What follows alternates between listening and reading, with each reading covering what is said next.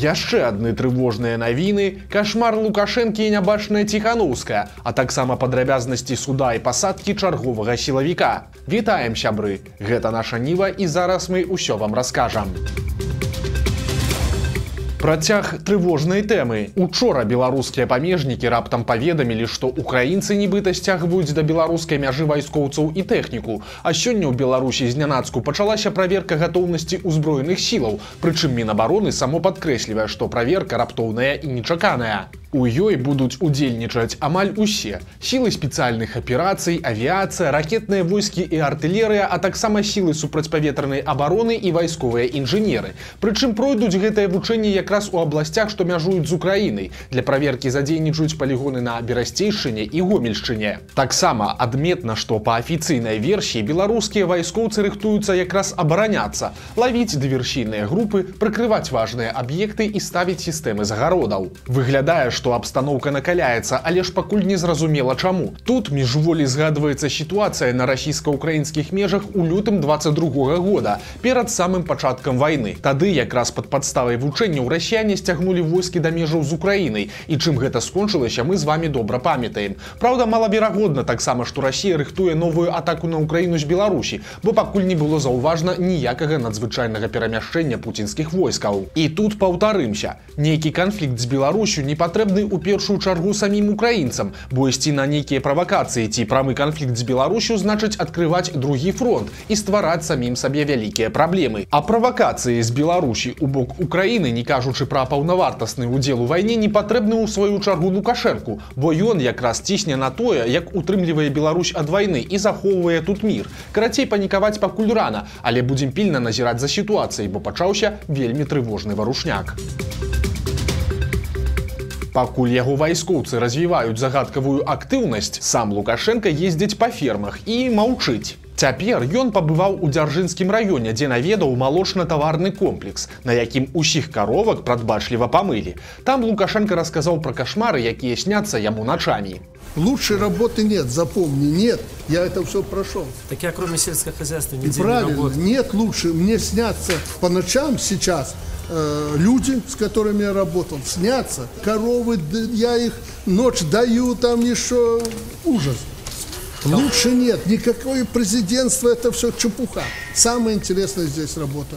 Живые люди, живой скот, живые растения – і результат каждый год. Пасля Лукашенко адкрыў вялікі фізкультурна-аздараўленчы комплекс у самім дзяржынску. І тут, дарэчы, цікавы адзін момант. Падчас яго прамову без паперкі прарываюцца яго набалелыя думкі. Так і цяпер ён выступіў з цэлым маналогам пра адказны падыход да здароўя. І вельмі заўважна, што чым больш Лукашенко старэе, тым больш ён гаворыць пра здароўе і медыцыну. Гэта ж вядома не значыць, што ў яго сто процентаў ёсць нейкія праблемы ці хваробы, але гэта красамоўны сігнал, што пытанне свайго здароўя апошні апошнім часам лукашэнку вельмі і вельмі хвалюе. Што тычыцца заяваў беларускіх вайскоўцаў пра украіну і раптоўныя вучэнні то лукашенко нічога пра гэта не сказаў. Прынамсі у афіцыйных справаздачах яго прапагандыстаў не было ані слова пра нейкае напружанне на мяжы і брацання зброі на палігонах. Таксама у лукашэнкі з'явілася новая ідэя фікс. Лядовых палацаў з яго падачы ўжо набудавалі і дзе трэба і дзе не трэба. Цяпер жа будуць будаваць фізкультурна аздараўленчыя комплексы.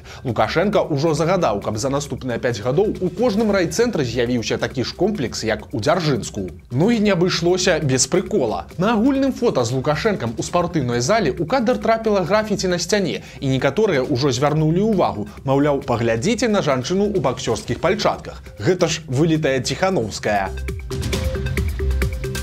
Дарэчы, пра ціханаўскую. Яе дарадцу франка вячорку пасадзілі на 20 гадоў. Праўда, ёсць нюанс. Сам вячорка па-ранейшаму за мяжой і на волі, бо суд быў завочным. Палітыка прызналі вінаватым аж па 9 артыкулах, сярод якіх і здрада дзяржаве, і змова з мэтай захопу ўлады і масавыя беспарадкі і шмат чаго яшчэ. Але цікава тут вось што. Вячорка хацеў папрысутнічаць на працэсе над сабой па відэасувязі, але суд яму гэта забараніў і прапанаваў палітыку прыехаць у мінск асабіста. Як той казаў, за завочна могуць хоць расстраляць, але ж гэта не канец гісторыі. Далей будзе канфіскацыя маёмасці, калі ў вячоркі засталася ў Беларусі кватэра ці машына, а затым, магчыма, і пазбаўленне беларускага грамадзянства. Страшная і незразумелая гісторыя адбылася ва ўкраінскай бучы. Там сёння раніцай у машыну да таксіста сеў пасажыр і запатрабаваў адвесці яго на мяжу з Беларусю. Калі кіруўца адмовіўся, кліент дастаў гранату за словамі мне няма чаго губляць і пачаў пагражаць, што ўзарве яе проста ў машыне. Таксіст выбег з аўто і тады яго пасажыр здзейсніў сваю страшную пагрозу. Ад выбуху ён загінуў на месцы. Што гэта было, пакуль незразумела. Асоба загінулага пасажыра цяпер высвятляецца.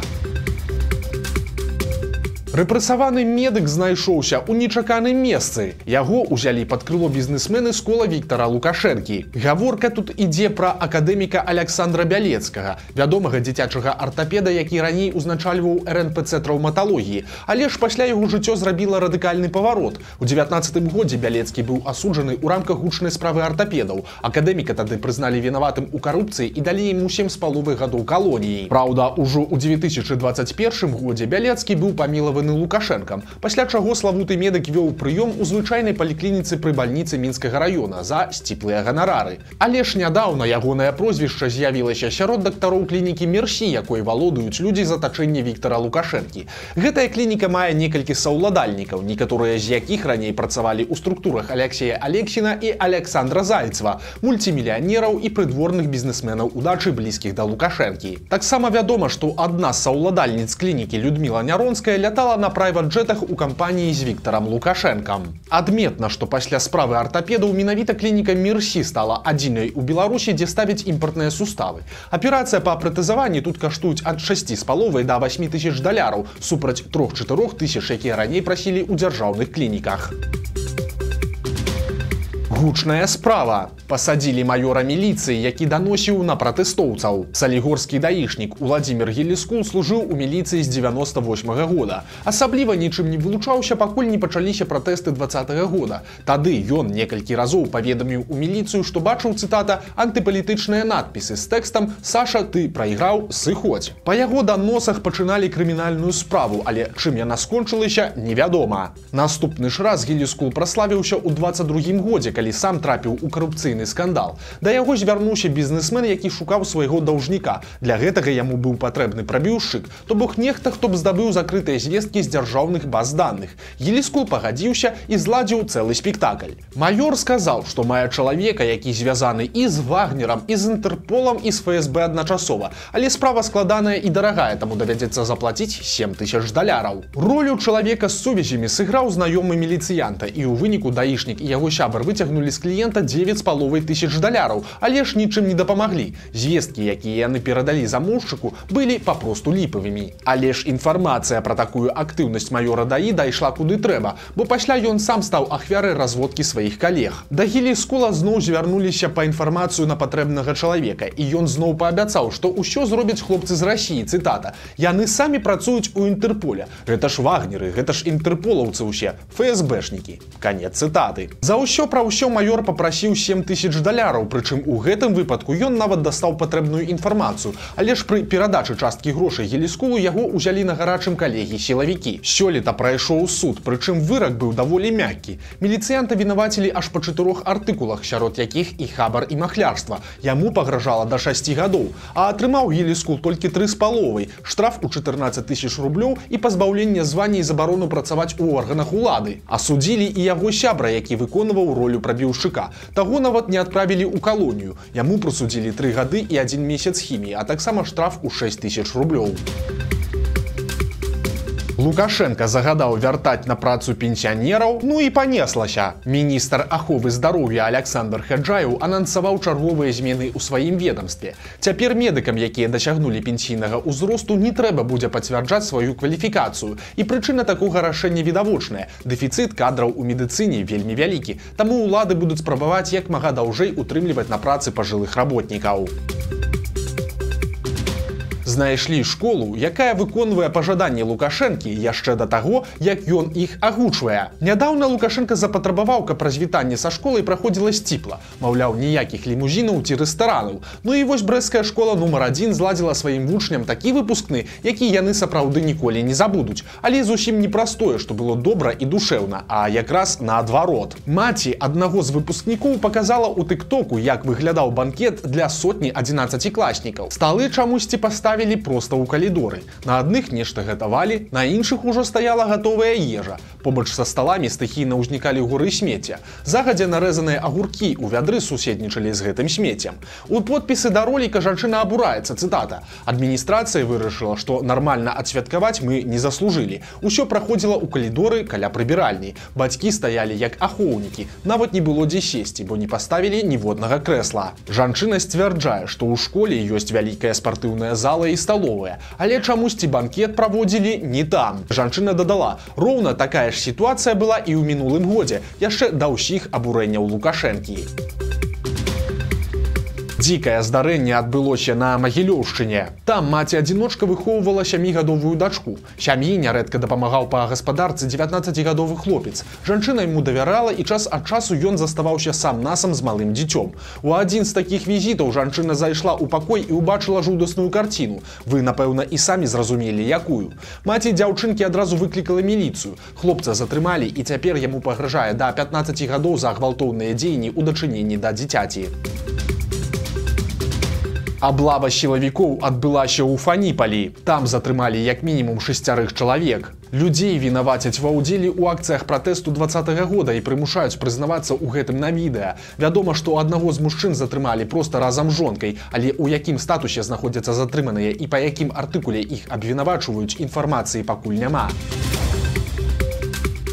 Нечаканы паварот. Пра лукашэнкаўскія камуністы абараняюць кастуся каліноўскага. Апошнім часам лукашэнкаўцы змагаюцца з асобай каліноўскага як толькі могуць. Яны выкрэсліваюць яго з беларусаў і записываюць у палякі, ды і проста адкрыта ачарняюць, а таксама прыбіраюць імя паўстанца адкуль толькі могуць. Ну вось напрыклад, школа ў свіслачы насіла імя каліноўскага яшчэ з часоў савецкага саюза, але цяпер яе пераназвалі ў гонар савецкай падпольшчыцы. Таксама і аматары лукашэнкі і аматары рускага свету вельмі хочуць, каб у мінску вуліцу каліноўскага перайменавалі ў вуліцу 17 верасня. Для разумення. У 39 годзе ў гэты дзень Савецкі саюз па дамоўленасці з фашысцкай Геррманіяй увёў войскі ў Польшу і забраў вялікі кавалак тэрыторый. Афіцыйна гэта называлася далучэннем заходняй Беларусі да Савецкага саюза. Нядаўна Лукашенко выдумаў цэлае дзяржаўнае свята з гэтай нагоды. 17 верасня стала днём народнага адзінства. Праз усё гэта выглядала, што перайменаванне вуліцы Каліноўскага гэта толькі справа часу, але ж за асобу славутага паўстанца раптам упісаліся беларускія камуністы. Яны просяць просяць пакінуць у спакоі назву вуліцы і называюць яе перайменаванне правакацыі, якая непазбежна выкліча непатрэбную дадатковую напружанасць у грамадстве.